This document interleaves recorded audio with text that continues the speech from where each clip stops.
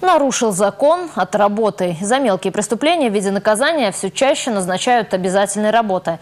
Правонарушителя трудится бесплатно и на благо общества. О непростом пути исправления в нашем сюжете.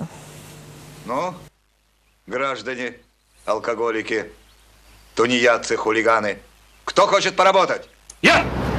Сегодня правонарушители отправляют не на цементный завод или песчаный карьер. Работы по благоустройству самые популярные. Ельниковская роща вовсю готовится к весне. Сотрудников здесь работает немного, поэтому дополнительным рукам рады всегда. Мы, э, выполняем такие работы, как уборка листвы, э, также э, уборка э, мусора, э, другие виды работ, подсобные рабочие, э, они помогают нам в строительстве зоопарка, э, копают ямы, э, ямки, устанавливают столбы и другие работы. Такой рабочий день длится до 4 часов. Обязательные работы могут назначить за неуплату штрафов или алиментов, а также за мелкие правонарушения. Количество часов отработки зависит от вида преступления. Новочебоксарские приставы отмечают, обязательные работы должны выполнить 217 человек. Из них только 40 отрабатывают наказание.